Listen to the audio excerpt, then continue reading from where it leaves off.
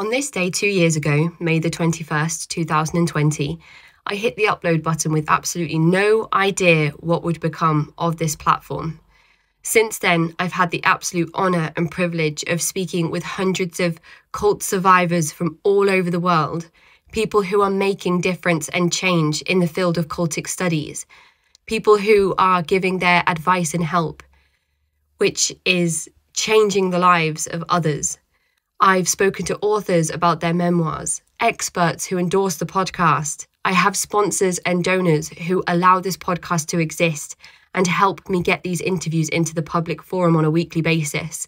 I've been invited to CrimeCon and I've made friends through this show that I can't wait to meet in real life. For anybody who's ever interacted or touched this show, thank you so much from the bottom of my heart.